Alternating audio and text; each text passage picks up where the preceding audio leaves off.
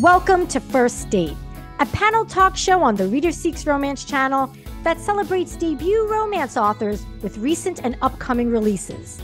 I am your matchmaking host, Liz Donatelli. It is a thrill for me to introduce four new romance authors who will set your hearts aflutter with their 2023 fall debut romances. Amelia Jones is the author of The Stage Kiss, pub date December 12th. Katrina Kwan is the author of Knives, Seasoning, and a Dash of Love, pub date December 19th. Talia Samuels is the author of The Christmas Swap, pub date October 10th. Jo Segura is the author of Raiders of the Lost Heart, pub date December 5th. Welcome, authors, and congratulations on your debut romance releases. Thanks. Hi. Hi. Okay, well, let's begin as all first dates do with an icebreaker. Tell me something about yourself that others would be surprised to learn. I love cross stitching. Like Oh. I I love cross stitching. I love crocheting. I've made quilts. So we call them like granny sports. So one of my great passions in life when I'm not like completely binge writing a book or editing or whatever is if I like am completely in a mess of writer's block for a period of time, Right. it's just all out hours and hours and hours of cross stitching. Love it. My grandmother taught me how I'm really, really good. Wow. Now, have you created any cross stitch or, or quilt um, items to promote your debut, The Stage Kiss? No, I totally should do that though. I hadn't even thought of that. That's a great idea. I would not have, have guessed um, that you are a prolific cross stitcher quilter. Yeah. Katrina, what's something no. you would be surprised to learn about you? I think something people might be surprised to know is that I'm also an actress based out of Vancouver. Um, mostly bit parts right now, but you got to work your way up. And I've been doing it for what year is it? About three years? Nice. So you started during the pandemic? Yeah, it was crazy. So I turned 25 in January of 2020, and I'm like, this is my year. I'm going to do something I've always wanted to do. And then, oops. Um, so it was a very interesting time to get into it because nobody knew what was going what was going on, how things would work, and right. yeah, just got to learn on the fly. Vancouver is like the Hollywood of Canada. Um, because that's where a lot of things are filmed. Like a lot of people, Yeah, yeah. So yeah, absolutely. have you ever auditioned for or been in any Hallmark movies? Because Hallmark does a lot of Vancouver filming. Um, I actually just finished um a Hallmark movie called. Oh no, I've forgotten it. It's on my IMDb. Oh, Um, okay. It just recently aired, and I was on it, and I just booked another part for another Hallmark movie as well. Yeah. That is fantastic. Does anyone watch Hallmark movies or do you feel like, eh, you're over it? Okay, Jo's shaking her head. Oh yeah. Okay, now Talia, I'm guessing you don't have access to Hallmark movies, correct? Uh no, they'll like occasionally be on like channel 503 kind of thing over here. Like you would have to work so hard to find them, but I think they are here. Okay. They're just it's not like front page of I don't know, Netflix or I don't know where you guys get them. I don't it's a channel, right? Yes, it's a cable channel. Yeah. So it's not something that, I mean, if it was on Netflix, it would be easier to find, obviously. Does the UK have a version of the Hallmark channel where they have a lot of sentimental, sweet romance stories? No. No, massively not the kind of thing you'd find here. We have like, you know, ITV, which is just like back to back gritty crime dramas, is like the closest thing we have to like a channel with a dedicated mood, and it is not sentimental. Okay. okay. Wow. Jo, what is something that we would be surprised to learn about you? I'm a really clumsy, klutzy person. I injure myself very easily. And so I think people are surprised to know that I used to be a dancer. I used to be uh, a Mexican folk dancer. You can see my little yes. Folk dancer back here. Um, and so, like, my husband, he at one point tried to teach me how to play tennis because he's a really good tennis player. Yeah. And I was terrible. And he's like, How can you not do this? You used to be a dancer. You were very coordinated when you danced. Why Why is the ball over here and the rackets out here?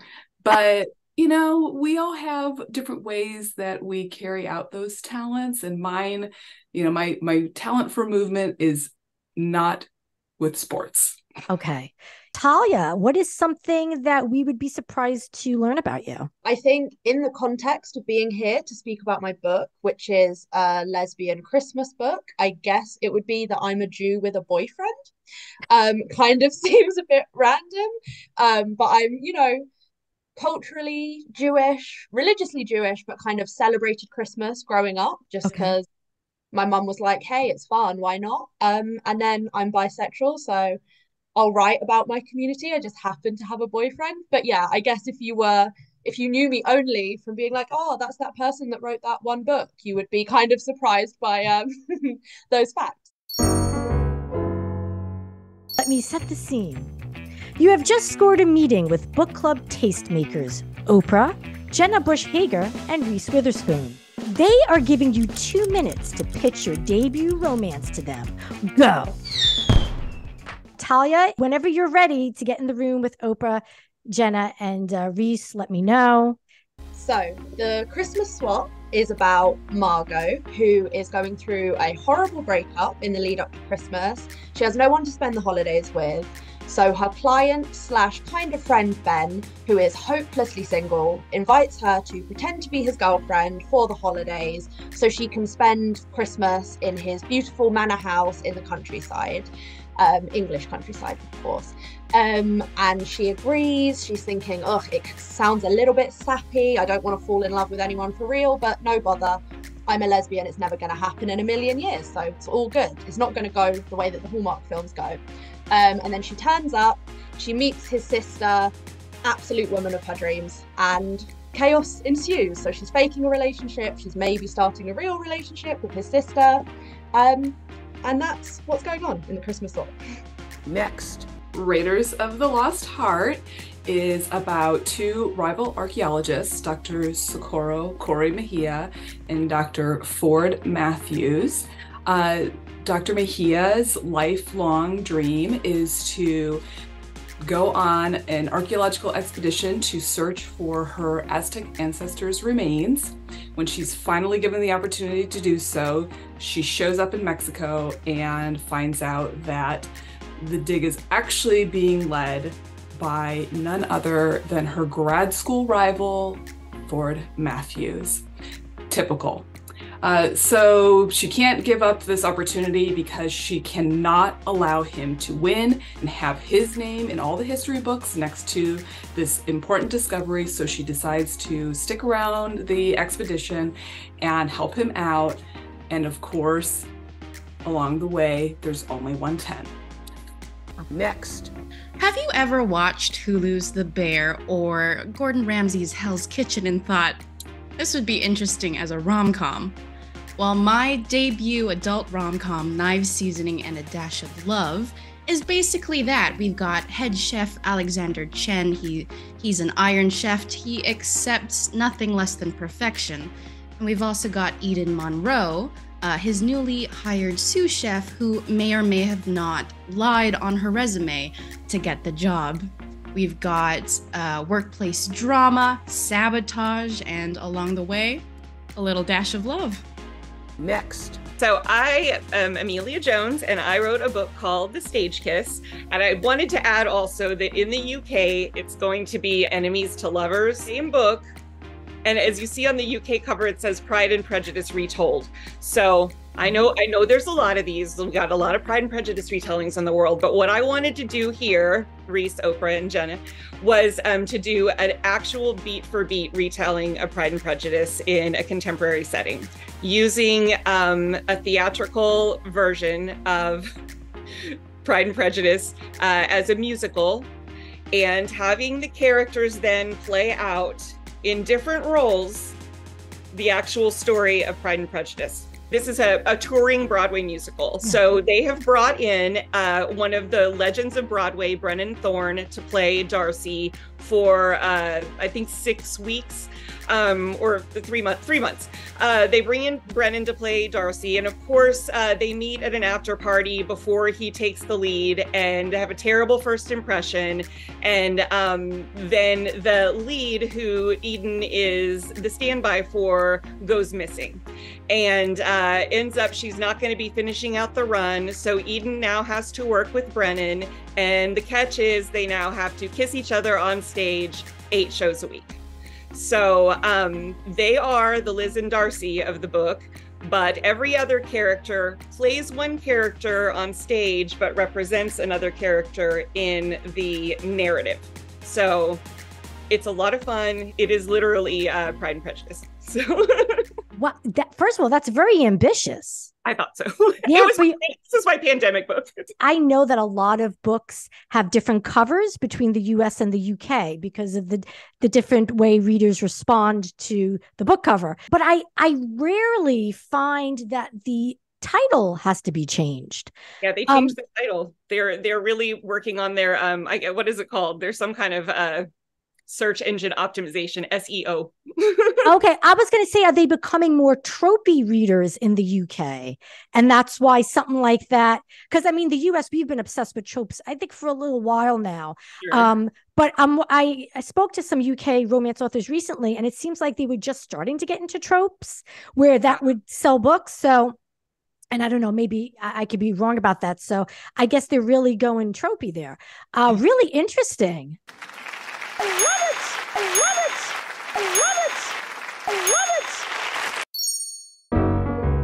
Jo, could you read the first line of Raiders of the Lost Heart?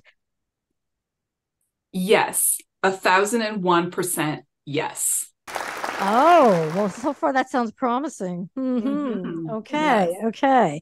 Um, Amelia. Now, I have an idea of the first line. you would be because I- wrong. Oh, will I? Because I haven't. second paragraph. What but was I that? want to read that to you too. I Okay, saved it for the second paragraph.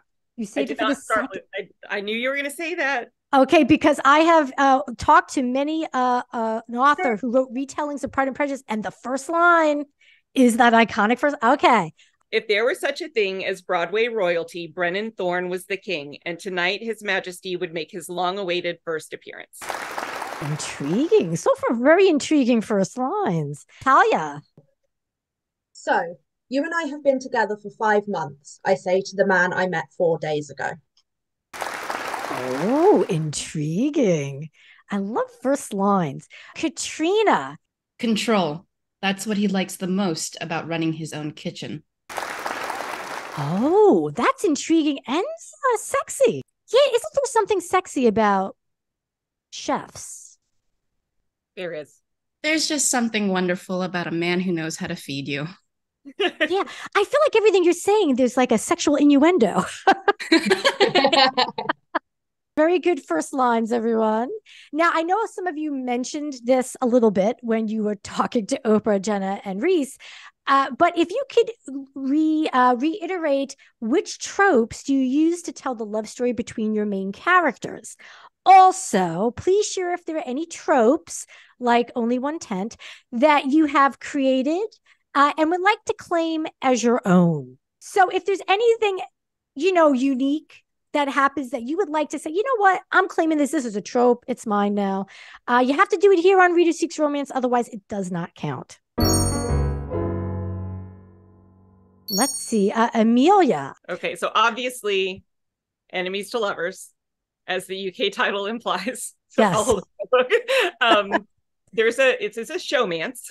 So um, I don't know if this is old or new, but this is definitely like a showmance. This is uh, forced proximity because they are working together and they have to kiss each other eight shows a week. They're on tour together. We've got kind of an uptown boy, downtown girl situation. That's sort of the class difference that I created. Yeah. Um, and then uh, I have honey as an aphrodisiac. Honey, Yes. really? Honey, that plays a big role in the story. And then, but more importantly, the bigger role is played um, by, uh, this is going to get a little saucy. I have sort of uh, the Brennan's erection is a secondary character. it really has a mind of its own. It really propels the narrative in ways that like it has to be its own trope. So erection is a secondary character. if that gives you any idea of like my sense of humor. Okay, I'm curious to know: Does the honey come before the erection? Is it like honey Yes. and then he? Yes. It's like a trigger. I don't even. uh, Who wants to follow that? Who wants to follow that? Um, I I don't think I'm able to get that out of my. Is it raw honey? Is Oh, it wildflower honey? What is it? oh, well, any kind of honey. Honey for tea, mainly. It's honey for tea. Okay, I'm glad It you helps, it helps the actress's throat. Oh, right. Now, Yeah. see, we put honey in tea. Talia, being you uh, are from the UK, do you put honey in your tea or is it usually just milk and sugar lumps? I feel like you guys use sugar lumps, right? Like, like, For sure. I yeah, I'd say milk and sugar more common. Sugar lumps would be like if you were out for tea, then you have a little bowl of sugar lumps. If you're having Okay. your tea at home, you're like digging your teaspoon into a sack of sugar. It's not as civilized as Okay. um, people might think it is. But yeah, not frequently honey, but I'm sure some people do. well, being Talia, we've been talking together right now. Why don't you um, tell us about tropes, new and old, uh, in the Christmas swap? I would say some classic tropes in here is, of course, fake dating is the headline. Um, and then kind of my best friend's sister type thing. Um, and then in terms of a newish, oldish trope, I'd say it's kind of an enemies to lovers, but it's one-sided. So Ben's sister, who Margot ha- fancies, um, is attracted to immediately upon seeing her, is deeply suspicious of Margot. She actually she can sense that something's wrong in the fake relationship. Um, and she thinks that it's because Margot is a gold digger. So she doesn't like her. She wants her out of the house ASAP. Um, so she kind of hates her, but Margot immediately likes her. So I think it's kind of a fun twist on enemies to lovers in that one of them doesn't know they're enemies. Um, Which is- Oh, yeah. yeah. something a bit new, maybe. I think that's new. Um, I tell you one thing, if even if it's not new, I don't think there's a name for it as a Mm. an officially recognized trope. So maybe one-sided enemies, maybe would be the name of the trope. All right, one-sided enemies it is, because I declare it so. Jo, now being now I find it really fascinating. Um, romance adventure. Is this kind of a- an emerging subgenre? Is this romantic adventure? Because we have romantic suspense, but this is specifically like, you know, uh, a fantastical adventure of sorts. I hope it's an emerging genre. I haven't there haven't been a ton of um books that I have seen that have this type of, you know, rom-com uh adventure like movies like Romancing the Stone, uh The Lost City, you know, so, like The Mummy, those types of things with in books recently, but I have been hearing a lot of people um, who are currently working on those books or books that are going to be released um, Right. within the near future. So I'm super excited because this is one of my favorite genres of movies, but there aren't a bunch of books about it that are romance. And so I am so here for it. Yeah, no, I was really, ex- I mean, I was, I remember watching Romancing the Stone and Jewel of the Nile, the sequel, when I was a kid. And, you know, I just loved it. And I love the movie The Lost City. I mean, Yes. I rewatch it over and over and over again. Um, But Lost City, I will I'm just gonna keep saying it over and over again, Yes. needed more kissing. Yeah, you know, I I feel like they pulled back. Like they wanted to go there, but they Mhm. pulled back on the physical intimacy. And I was wondering wondering if it was just because Channing Tatum and Sandra Bullock maybe didn't want maybe they're such good friends they didn't really want to kiss each other that much. Like, I don't know. Or do you think it's because they thought if it's too much kissing, it wouldn't appeal to as many people? I don't know. Right? I. I mean, she was a romance author. Right. And so, I mean, it it's clearly capturing the romance genre. Yeah. Um, and they had like the whole thing with Brad Pitt and how, you know, she Yes. was feeling that. yeah. And they had some really great, like sexy moments. Yes. Um, like and the some tender moments like the night that they Yeah. spend together by the campfire really tender moments Yeah. but they're just there needed to be more kissing it was kind of like a hallmark movie which i love a hallmark movie but i Yeah. also wish hallmark movies had more kissing Right, right. Does, does has anyone else seen The Lost City and uh, thought, boy, there should be more kissing? Yeah. Or at least more more touching, More heat. Yeah. more heat. Yeah. Uh, so go ahead, uh, Jo, if you could share new and old tropes that appear in Raiders of the Lost Heart. clearly there's an enemies or rivals to lovers trope really strong in this book uh i mean Ali Hazelwood says the ultimate enemies to lovers adventure rom-com on the cover so it is so um there's also only one tent i'm not going to claim only one tent i'm Okay. sure someone else has done it Okay. forced proximity uh, he falls first uh, those are a little bit of second chance you know they are Okay. former grad school um, classmates who had a little bit of something happening and it's alluded Mm. to many many times um, in the book and they both think about that t- that night in the library um, as far as a trope that i invented i'm going to say i invented the snake maneuvers trope. Uh, so there are some shenanigans involving a snake. And so I'm going to claim that because I don't think we see too many snake maneuvers in uh, romance books, but there's one in here. Well, th- that's yours now. Snake maneuver. You know, it's funny how animals and pets are making, you know, they're usually a sidekick in a lot of romances. You know, and some have chickens, cows, goats, you know, dogs, cats. Um, but I feel like mentioning a snake in any capacity in a romance is like, ooh, but there's a maneuver. Is it to remove a snake? Not Yeah. something. So I really wanted, uh, there's, there's a lot of um, mention of Indiana Jones in this book. ah, In- okay. Indiana Jones was one of my inspirations. I love Indiana Jones. Gotcha. Um, and anyone who is familiar with Indy knows that his biggest fear is of Snakes. snakes. yeah. And so I wanted to have something that involved a snake Mhm. and uh, you know, maybe a little little uh rescuing that involved the snakes. So Okay. All right. Intriguing. Katrina. I had to pull up a list because I genuinely forgot. It's been a while. Is since that I why you it. put yourself on mute? You were doing a little research? No, yeah. um, the big one is Grumpy and Sunshine. That's their whole dynamic. Mhm. Um, but we've also got a subcategory of that dynamic where the Grumpy right here is only soft for her. Um, we've got obviously workplace romance. I have Asian leading man. I don't know if that's a trope so much as a fact. Um, so we've got some Asian rep in here. We've got, I'm claiming no third act breakup. It's a it's a personal preference of mine Yeah. that you know it's getting a little not predictable, but you know, I'm just throwing that out there. There's communication in here, um, safe sex conversations, and just uh, oh, obviously, in keeping with the title, uh, food as a love language. Food is a love language. Yeah. Nice. Nice. Now, Okay.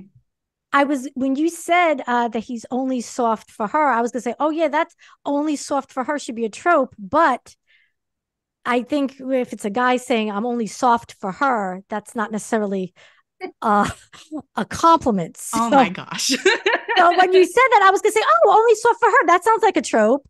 Um, but that I mean, I guess it could be, but it wouldn't necessarily, you know. food is a love language. So what kind of food? a French cuisine restaurant with several Michelin stars under his belt. So we've got traditional French recipes, but we also Yeah. get a little bit of Chinese in there later in the uh, Oh. later in the book, and just comfort foods when she's not feeling well, and he'll whip whip something up from scratch just for her, just Awesome. because Yeah. just for his sous chef. There may be a scene involving whipped cream, but you have to read it to find out. That could be a t- the whipped cream trope. The whipped cream trope. Let's talk heat levels. Where does your novel fit in my alliterative heat meter? Sweet, sexy, steamy, or safe word? Safe word being obviously something with BDSM. I'm assuming that doesn't apply to anyone. Steamy. It's a slow burn, but it's steamy. Open door, Gotcha. well described. It sort of like progresses through the Okay. thing. So steamy. Talia, uh, are we talking sweet, sexy, or steamy? definitely sweet for this one. Um, we're kind of maxed out at kissing. Um, but I did have a reader put on their Instagram story that they were kind of led on by the book. And I think I did ask, and it seemed to be in a positive way, but they said it they Oh. had so much sexual chemistry that they thought there was going to be more, but then there was just just some sweet, sexy kissing. But we are we're we're definitely in sweet territory in this Right. book. And I assume that is because it is a holiday romance. So try to keep it uh, more PG. I find it interesting that your debut romance is a holiday romance. That's that's a bold move because you're taking. I mean, the holidays, holiday romances for many people like that's sacred to them. Like when they read it, a holiday romance, like, they have the you know expectations. Did it prove to be a little challenging uh, as your debut? So I think it was actually quite helpful in that, like, I knew I was like, okay, Christmassy vibes I can do, yummy food vibes I can do, like wintry, cozy, like I can do all of that. So it was just like setting up like a really sweet and compelling romance in the middle of all of these things that I felt I could really do the setting. Um, although it was kind of by chance that it ended up being a Christmas romance for my first book because I was writing romance anyway, and then there, um, a friend told me about a competition over here in the UK that was specifically for Christmas romances. So I thought, oh, I could have a go, and then that ended up going well. I won it, and the prize was being published. So it kind of Nice. was kind of happenstance, to be honest, but a very, very happy happenstance. It's all Oh, worked out nicely. Congrats. That's that's a cool story. Trina, sweet, sexy, or steamy? steamy. We've got making out in the walk-in fridge, which may or may not be a health violation. We've got um we've got a good handful of open door scenes, um, but we've also got sweeter Mhm. moments closer to the end. Yeah. We've- Right. It's steamy. It's for adults. Uh, I Yes. heard someone told me that they submitted a request to their library and they filed it under teen, and I was like, "Don't do that!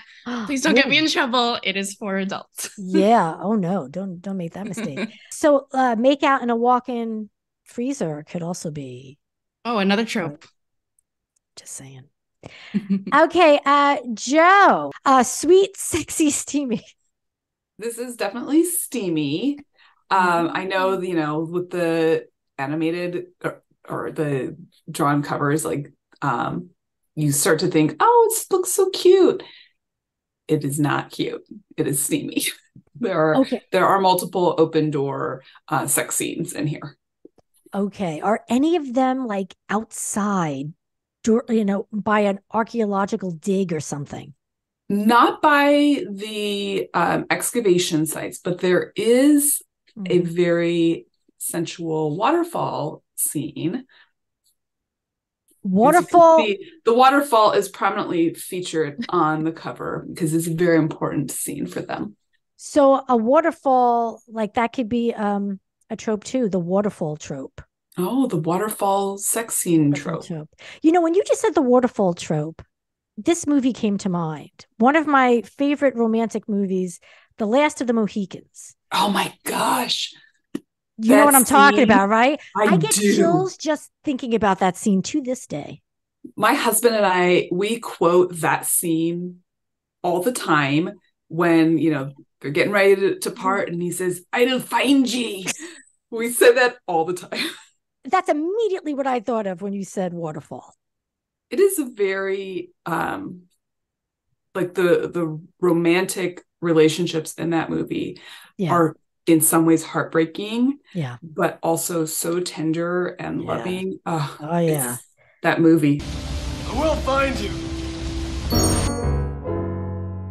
Here's a fun question. What is your romance writing superpower? Talia, what is your romance writing superpower? I really don't want to step on Katrina's toes because obviously um your book has a lot to do with food, but I think I have heard from a lot of people that like the the food and the eating in my book is very, you know, evocative and cozy and gives like kind of all the vibes. Um, I did used to be a chef, so I think there's like a lot like the yeah, the food presence is very strong, which I think works well, especially for a holiday romance. And there's some baking together, kind of shenanigans going on. So I think I think that's strong. Wow, you used to be a chef. Did you Mm. leave the culinary world to be an author? No, I've actually gone back to university. I loved being a chef, but I kind of, at a very young age, I was like, oh, I can't physically do this anymore. And I was like, okay, what when I'm 30, 35, 40, like my body's not going to keep up with this. So I was like, right, maybe we retrain for something that I can sit down for like more than 20 minutes a day would be nice. Amelia, was your romance writing superpower? Sexual tension, sex, writing sex scenes, um, any kind of like uh sexually tinged banter, not like but it's Mhm. not like cheesy or anything. It's like, you know, just like sort of that unresolved sexual tension resulting in like an amazing sex. Okay. Scene. That's that's what I'm really good at. Wow. Wow. You said that with with complete confidence. You know, it's like it's one of those things where it's just like you wonder for a long time, then like enough people tell you, and finally you're like, you know what, I actually am really good at this. Good for you. Okay, we're we're doing romance writing superpower. Who avoided me?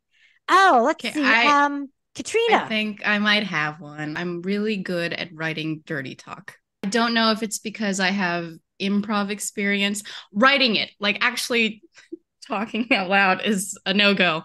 But writing dirty talk, um, he's very convincing. Let's just say in this book. oh, really? Now, do you use any food puns in the dirty talk? Okay. No, because I think that would just break, break, um, break the readers out of it. It depends what food you're talking about, though. so, food and sex. So far, we've got. So now, um, Jo, uh, what is your romance writing superpower? All right. So I don't particularly think this, but I have been told that Raiders is really funny. It I wrote it as a rom-com. Yeah. Um, but I also when I go back and read it, I'm like, oh my gosh, my jokes are so corny. But people have told me that they were like laughing out loud and how funny it was. And so I'm okay, I guess I did actually achieve what I set out to achieve, which was to write something that was funny. But you know, my husband also tells me that I'm not as funny as I think I am. So, you know, I have my imposter syndrome. Like, is Mm-hmm. it funny? not sure, but I mm-hmm. think it is. I think it's funny. Okay. All right. So, uh, you're good at at the the calm in the rom. Mm-hmm. Yes. That's good. That's good because there's a lot of rom coms that you read and they're very rom, but there's like virtually no calm. So it's good to know that you're bringing the calm. Yes, there is some calm, mm-hmm. definitely. Okay. Sometimes it's kind of like corny, corny calm, but that's okay because it still makes you laugh. And that's the whole point of a rom com is so you laugh. yeah. Yeah. You know, corny com could be a trope. Nope. Mm-hmm. All right. Let's get to our book dedications. Who did you dedicate your debut romance novel to and why? And if you could also read the dedication. Talia, who did you dedicate the Christmas swap to and why? And could you please read it? Yes. So the Christmas swap is dedicated to, it says, dedicated to Granny Franny and Grandpa Derek, unwavering supporters. Um, that is my mum's parents. Um, they truly have supported me my entire life. Um, they used to like, you know, I'd write little poems and they'd print them out and they'd make little books of them, or I'd write Oh. little short stories. So they've always supported the writing dream, but really any dream. When I wanted to be a chef, they bought me a little pasta maker, was the thing I really wanted to be cooking. And when I was like, oh no, you know, I want to do something different, then they got me, you know, books associated with that. You know, whatever the dream was, they've just always jumped fully on board and supported it. And I appreciate and love them very much. That is so sweet. Your grandparents, just based on their names, sound adorable. They're pretty great. Katrina, who did you dedicate Knives, Seasoning, and a Dash of Love to? So I should probably preface this by saying it's not just a rom com. There's heart, and it deals with um, mental health and burnout. And I actually dedicated this book to myself. Um, my mental health was not in a great place when I wrote this, but it was definitely something that helped me through a particularly hard period of my life. And so the dedication reads uh, To 25 year old me, I'm glad you're still with us. It really does get better. For those who need it, dial 988 for the Suicide and Crisis Lifeline. You're not alone. And so, yeah, it just sets the tone a little bit that yes, there there are definitely high moments, but there are definitely moments moments where you can reflect. Yeah. Thank you. Thank you for sharing that. Jo, who did you dedicate Raiders of the Lost Heart to? When I first found out that I was going to be published, I called my mom and dad. Um, and just to give a little bit of background on my parents, my mom actually works at a convent. So I had to warn them. You know, they knew I wrote romance, but I had to warn them, you know, guys, it's kind of, it's a little sexy. And so my dad asks me, I'll never forget this conversation. We're on speakerphone because they live on the other side of the country. And he goes, Now, be honest, is your book too spicy for us? And my mom says, Oh, I've watched Bridgerton. I think I can handle it. so my book is dedicated to my mom and dad. And it says, For Mamo and Dado, I hope it's not too spicy for you. oh, wow. Okay. Amelia, who did you dedicate the stage kiss to? I'm a little salty about my dedication, but it's fine. So I wrote this during the pandemic and um I had a, a very tight knit writing group at the time, and um, and they helped me a lot with it. So like a lot. Like I needed I needed a musical written, and one of them one day, basically the next day, she was just like, "Here's your musical," and I'm like, "Oh, thank you great. And it had all the songs and it had like you know kind of like who was in each one. It had duets. It was amazing. One of the other people in my writing group like took one of those songs wrote a whole song from it recorded it sang it for me and everything. So i wanted to do something for them like so i had like a playbill put into the book oh. gave them credit for their songs and everything. Um, the reason i'm salty about it is we're no longer a writing group but the dedication reads for rompire you must allow me to remind you how ardently i admire admire and love you.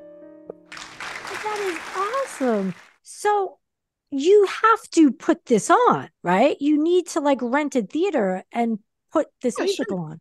It's a great musical. you know, you could do something online with that though. Seriously, Amelia, where you know you get performers could perform songs from the Sure. I'm just throwing ideas. I'm the I'm, idea person. I'm looking out for like the the movie or the like the Netflix series or whatever, but you know, online performances that'll work for me. Like, well, sure. it's it starts there. You get attention, then Netflix is That's like, true. we want to buy true. it. What research did you invest into the writing of your debut romances? Amelia, I believe you have something to share well, I did want to talk about this just because, you know, I have to give major props to this person. So again, I said uh, like during the pandemic, I came up with this idea um, to do it based, you know, Pride and Prejudice as like a touring musical. And one of the, I'm a labor and delivery nurse by trade. That's my job.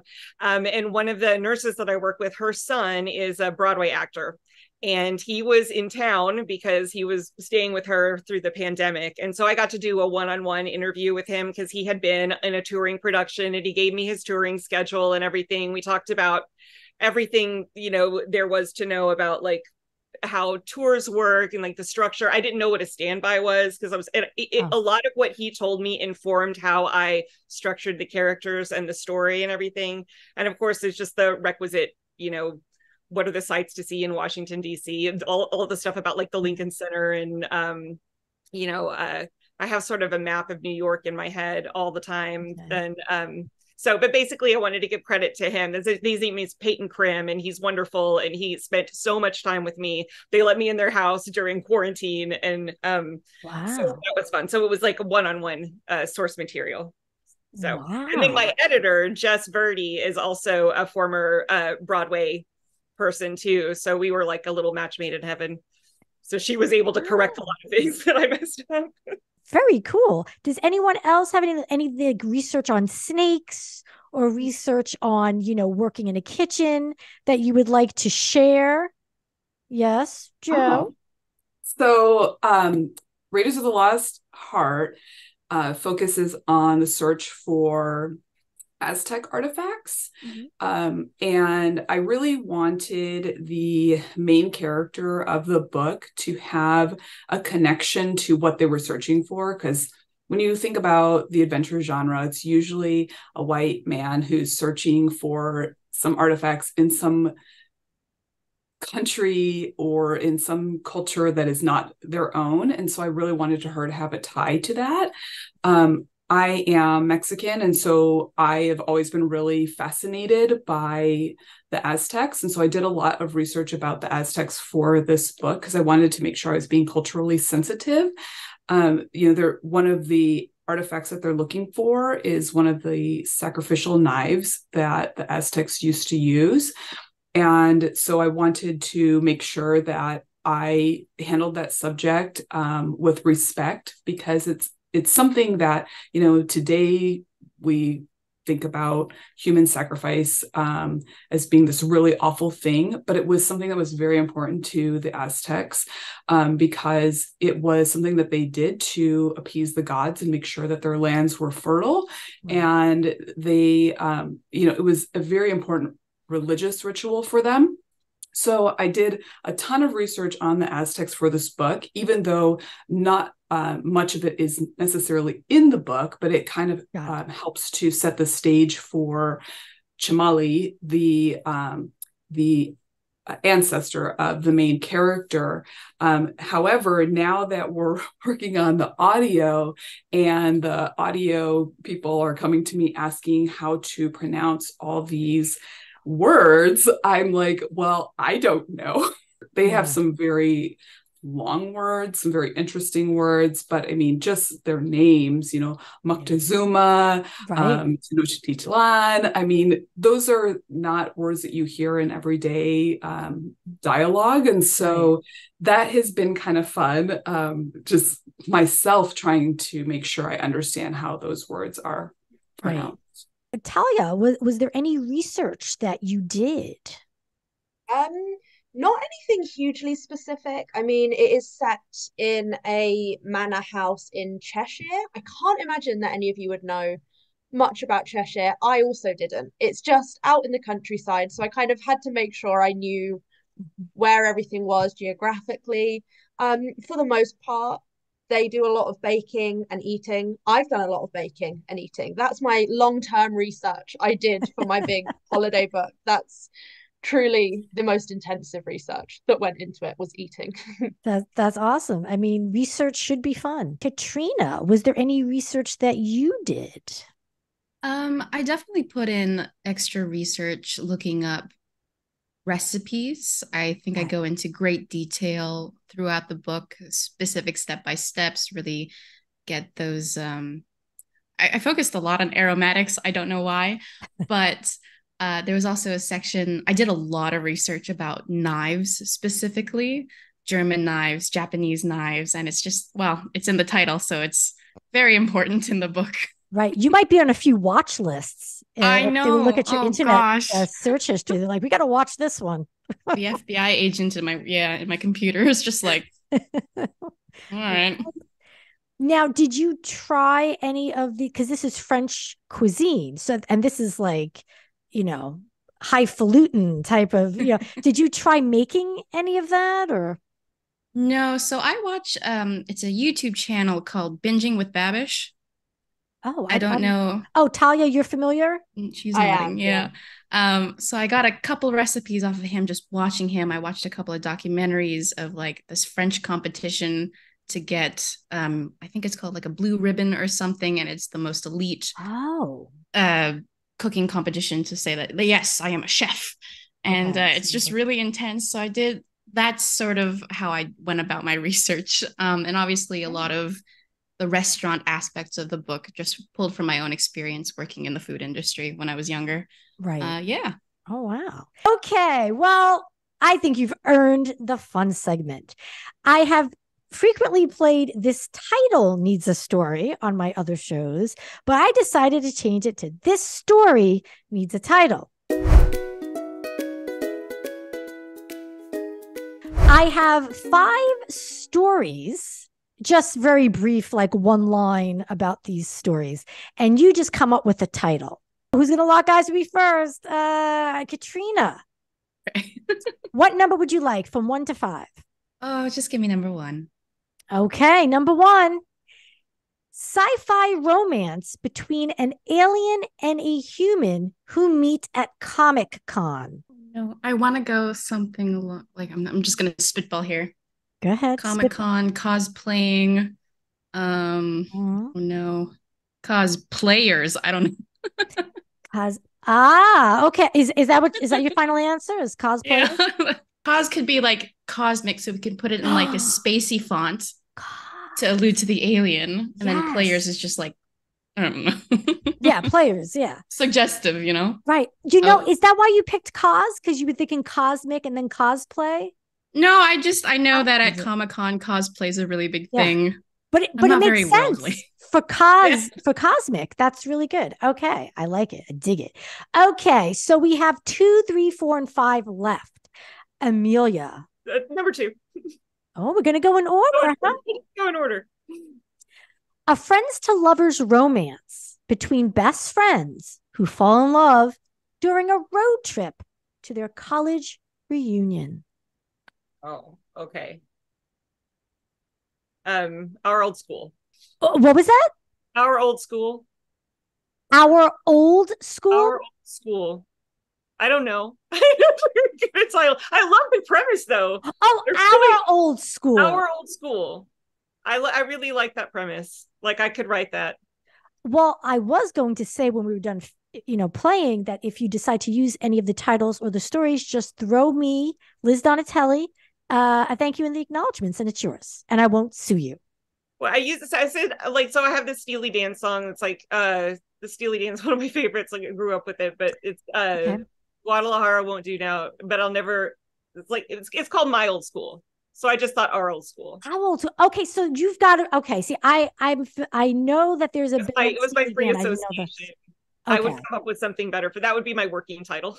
Oh, I dig it. See, because you explain kind of your thought process, and now I'm, I'm along for the ride. Thank you. Okay, so we have three, four, and five left. Jo, what number would you like? I'm gonna go with five. Oh, I thought you might decide not to go in order. I'm gonna be. I'm gonna change it up.